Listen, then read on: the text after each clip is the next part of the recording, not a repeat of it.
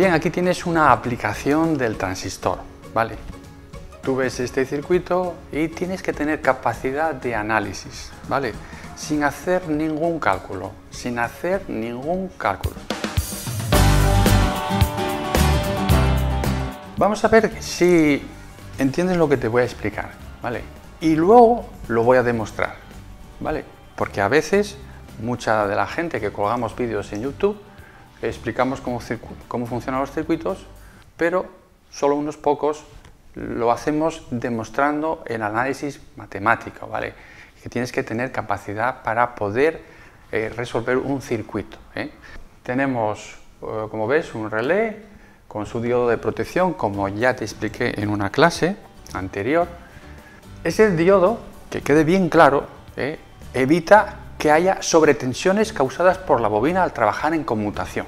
¿Vale? Cuidadín. Bien, tenemos aquí una resistencia de 100 ohmios de 10K y un condensador electrolítico de 100 microfaradios. Según está así el circuito, ¿cuánta tensión tendrá ese condensador? ¿Conducirá el diodo Zener? ¿Ese transistor estará en corte, activa o estará saturado? No lo sabemos. A simple vista, lo que vemos es una resistencia de 100 ohmios y una de 100 K. ¿vale?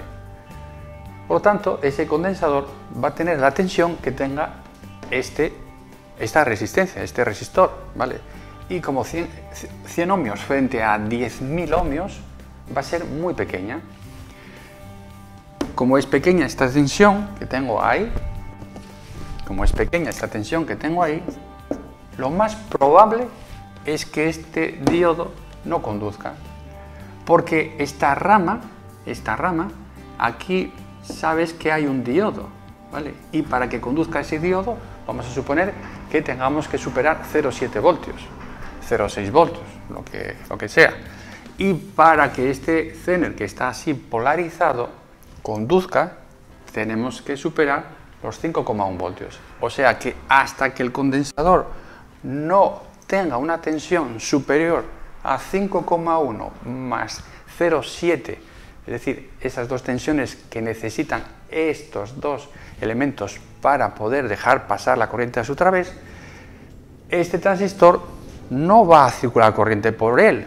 ¿Por qué? Porque la corriente de base va a ser cero. Y por lo tanto no deja pasar corriente por el colector. Y por lo tanto este relé no se activa.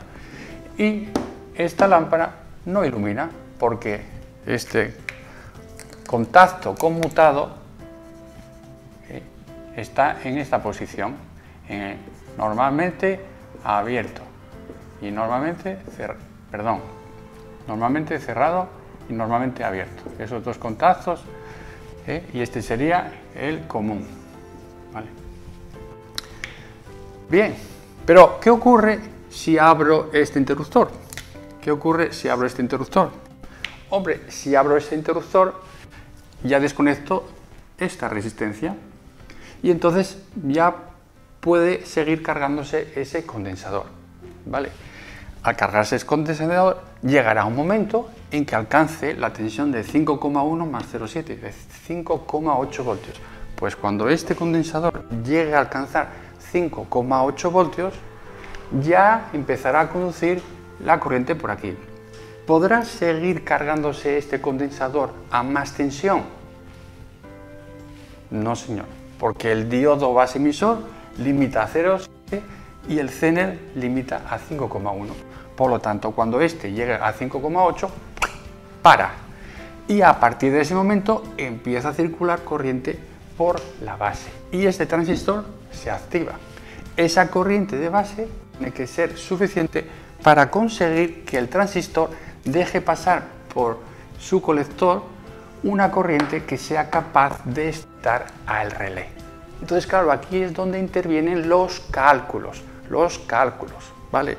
No tienes que conformarte solo con saber analizar el circuito, sino tienes que saber por qué hay que poner 10K, por qué hay que poner 100 ohmios, etcétera, etcétera, etcétera, ¿vale? Bueno, pues si te interesa saber cómo analizar este circuito, sigue atento. Mira, lo que vamos a hacer va a ser lo siguiente. Voy a desconectar eso de ahí. Aquí pongo 12 voltios y todo sigue de maravilla, ¿vale? Voy a, a desconectar, conectar eso ahí y todo este mogollón, todo este mogollón, cuando el interruptor estaba cerrado, ¿vale? Lo voy a sustituir por un equivalente de Thevenin. Entonces, ¿qué es lo que tengo? Lo que tengo es una resistencia, otra resistencia, el interruptor y masa, ¿no? Y este es el terminal, este es el punto B, si queréis llamar a este, el punto B, este es el punto B. Entonces lo que voy a, a calcular es ni más ni menos que el equivalente Thevenin que voy a tener ahí, ¿vale? El equivalente Thevenin pues lo voy a sustituir por una pila y una resistencia. ¿Cuánto vale esta pila, la tensión de Thevenin? ¿Cuánto vale esta resistencia, la resistencia de Thevenin? Pues muy fácil, la pila va a valer lo que valga la tensión aquí, como ya te expliqué en una de las clases anteriores de análisis de circuitos. Esta tensión, V sub e, pues va a ser por divisores de tensión, V sub e 12 multiplicado por 100, la resistencia en la cual quiero calcular la tensión, y partido por 100 más 10.000. Vale. Bien, pues echando mano de la calculadora, resulta una tensión de 0,1 voltios. Vale. Y la resistencia de Thevenin, pues eliminamos esta fuente de tensión, con lo cual tendríamos que hacer este cortocircuito y esta resistencia y esta resistencia estarían en paralelo. ¿Por qué? Porque están unidas por ambos extremos, por aquí y también están unidas por el otro extremo. 10.000 en paralelo con 10.000 en paralelo con 100, aproximadamente 100. Vale. Si haces eh, realmente la operación producto partido por la suma, pues la resistencia de Thevenin me sale 99 ohms. Vale. O sea que prácticamente 100.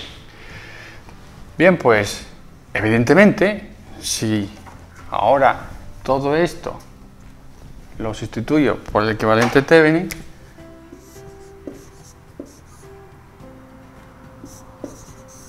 que es 0,1 voltios y 100 ohmios, este condensador, como ves, si lo quito, ¿eh? estos 0,1 voltios es imposible que conduzca, que conduzca esta rama, ¿vale? Por lo tanto, ¿qué tensión va a tener el condensador? El condensador va a tener una tensión de 0,1 voltios. ¿eh? La tensión que voy a tener, es decir, se, va a cargar por ahí rápidamente y va a tener 0,1 voltios. Bien. Pero ¿qué ocurre cuando abro el interruptor? ¿Qué ocurre cuando abro el interruptor?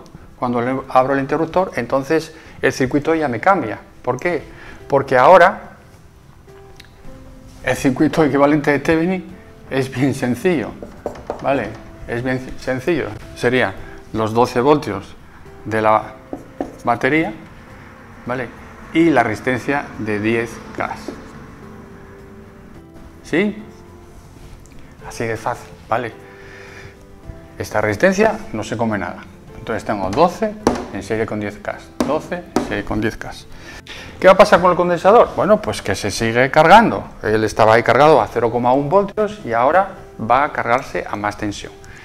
¿Con qué rapidez se carga ese condensador? Bueno, pues ya sabes, cuando te expliqué en una de las clases anteriores cómo se comporta un condensador de corriente continua, vemos que la ecuación es la tensión a la que tiende el condensador, ¿vale? Menos la tensión a la que tiende el condensador menos la tensión inicial que tiene el condensador multiplicado por E elevado a menos T partido por RC.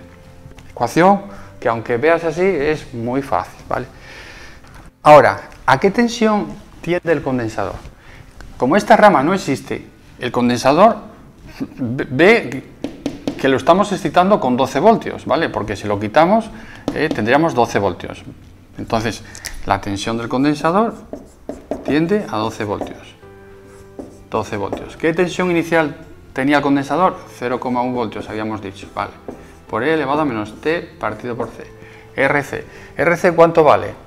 10 K por 100 microfaradios. La constante de tiempo, ¿eh? Tau. 10 K por 100 microfaradios. 1000 un segundo. ¿eh? La constante de tiempo sabemos que viene en segundos. Por lo tanto, esto sería partido por 1. Bien, pues esta es la ecuación matemática, ¿vale? Esta es la ecuación matemática de la evolución de la tensión del condensador. Pero, ¿cuánto tiempo tardará el condensador en llegar a los 5,1 más 0,7? Cuando el condensador cuando la tensión del condensador sea de 5,1 más 0,7, 5,8 voltios, empleará para ello un tiempo, sustituyendo en la ecuación 5,8, 12 menos 12 menos 0,1 elevado a menos t, este tiempo lo voy a llamar T1. ¿vale? ¿Cómo despejar de ahí T1? Bueno, esto son cuestiones matemáticas. ¿vale? Bien, el desarrollo matemático sería el siguiente. Paso el 12 para aquí, restando, hallo la resta, paso esto para aquí y tengo esta ecuación. ¿vale? ¿Cómo despejar de aquí T1? Muy sencillo. Aplicamos logaritmo nepeniano en los dos términos, por lo tanto, esto, la exponencial se me elimina, me quedaría esto. Hallo esta operación en la calculadora, 6,2 partido de 11,9 logaritmo nepeniano y me sale menos 0,65 con este menos tendríamos 0,65 segundos ¿vale? ese es el tiempo que tardaría el condensador en alcanzar esa tensión de 5,8 voltios a partir de ese instante ¿qué es lo que va a ocurrir? bueno pues a partir de ese instante el condensador ya no se puede cargar más quedaría cargado ahí con 5,8 voltios ¿vale? y ahora si como la corriente por condensador es cero, porque ya no se puede cargar más, lo que tendríamos es una corriente por la base. La corriente por la base, ¿qué sería? La corriente por la base sería 12 menos 5,8, que es la tensión que tenemos en este resistor, ¿eh? esa tensión, la tensión aquí 12 menos la tensión aquí, que es 0,7 más 5,1, 5,8 dividido de 10K, dividido por 10K. Y resulta una corriente de 0,62 miliamperios, ¿vale? Eh, tendríamos que ir al datasheet de ese transistor que coloquemos ahí y imaginemos que nos da una beta mínima en el datasheet. Miramos y la beta mínima que tendríamos, la beta mínima que tendríamos en la así, imagínate que son 100, eh, ¿vale? Entonces, la corriente que va a dejar pasar el transistor serán 100 veces esta corriente, 0,62 miliamperios. O sea, 62 miliamperios es la corriente que me va a circular por el colector. Y esa corriente tiene que ser suficiente para activar este relé. ¿eh? Tendríamos que utilizar un relé cuya corriente de excitación fuesen 0,62 miliamperios. ¿Qué tensión va a tener el relé? Bien, imagínate que ese relé tiene una resistencia interna, una resistencia R del relé son 120 ohmios, pues la tensión en el relé, suponiendo esta corriente, la tensión la V en el relé, en la bobina del relé, serían 62 miliamperios por 120 ohmios. Y eso da una corriente, una tensión 7,44. 7,44. 7,4 voltios. ¿Vale? ¿Cuánta tensión voy a tener entre colector y emisor entonces? La tensión colector-emisor, la tensión colector emisor será 12 menos 5,1 o menos la tensión del relé 7,4 y menos 5,1. ¿vale? 12, la total, menos lo que hay aquí y menos lo que hay aquí.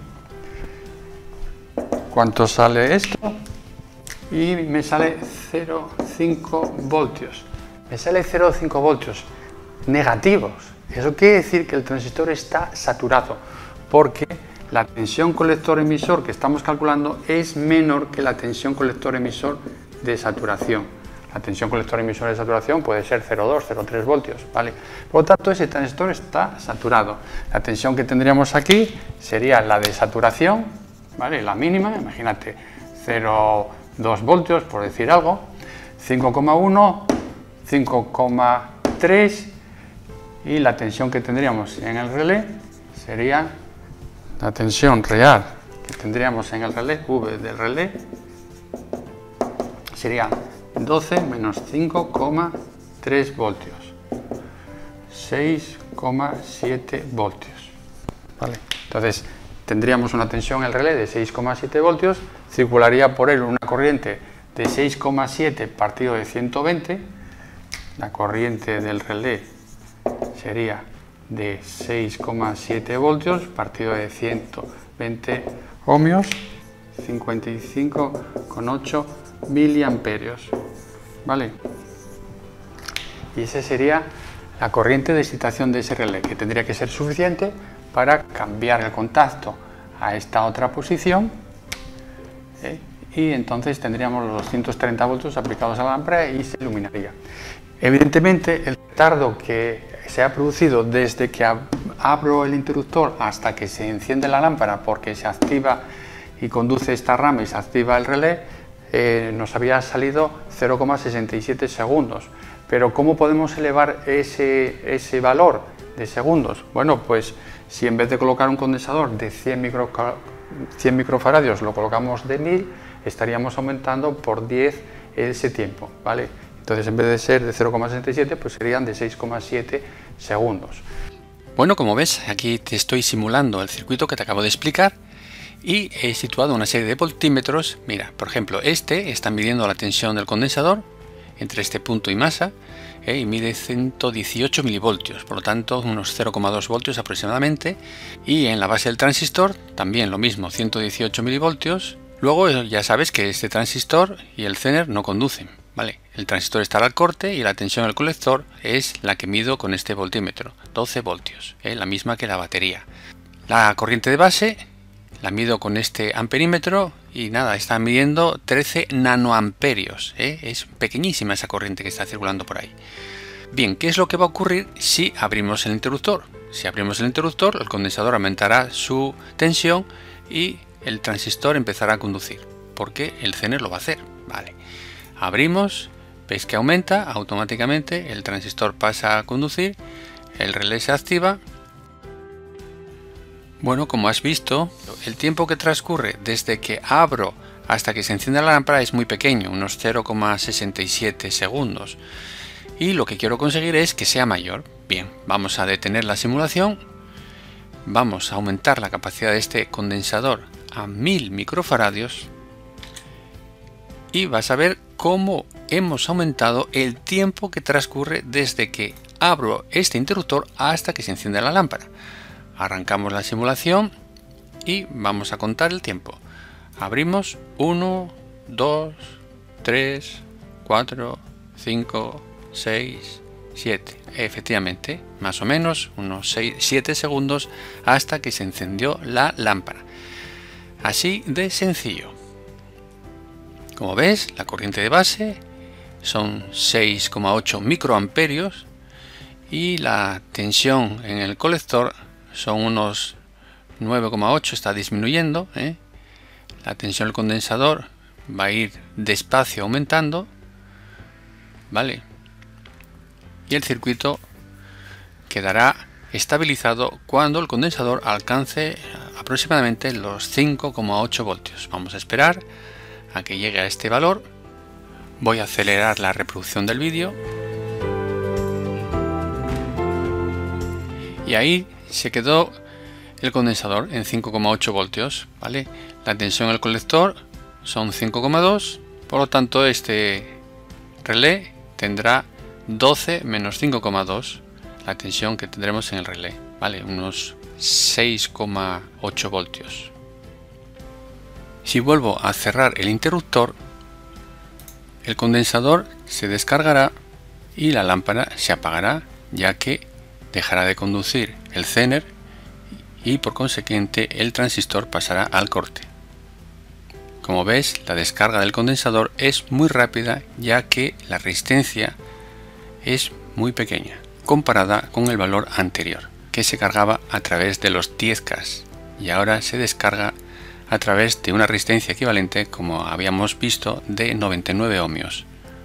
Si la corriente por el colector necesitásemos más corriente, lo que haríamos sería, en vez de colocar aquí una resistencia de 10K, colocaríamos aquí una resistencia de 5K. Por lo tanto, estaríamos aumentando la corriente por la base y estaríamos aumentando la corriente por el colector. Y así podríamos excitar ese relé. Lo mismo, podríamos tener aquí un, necesitar un relé de una tensión eh, a lo mejor menor, en vez de ser de 6,7 voltios, pues necesitar una tensión de 5 voltios. ¿eh? Y lo mismo, podríamos utilizar un Zener mayor, en vez de 5,1, de una tensión mayor, 6,8, lo que fuese. ¿De acuerdo? ¿Entendido? Si tenéis alguna duda, algún comentario que hacerme, por favor, hacerlo abajo en comentarios de este vídeo. Y nos vemos en la próxima clase. Bueno, gracias por tu atención hasta el final del vídeo. Puedes hacerme cualquier pregunta o comentario sobre el mismo. Espero que te haya gustado. Si es así, por favor, dale al me gusta, pulgar arriba y si no quieres perderte ninguna de mis clases, suscríbete a mi canal a cadenas y no te olvides de activar la campanita para que YouTube te avise cada vez que suba un vídeo. Gracias y hasta la próxima clase. Hasta luego.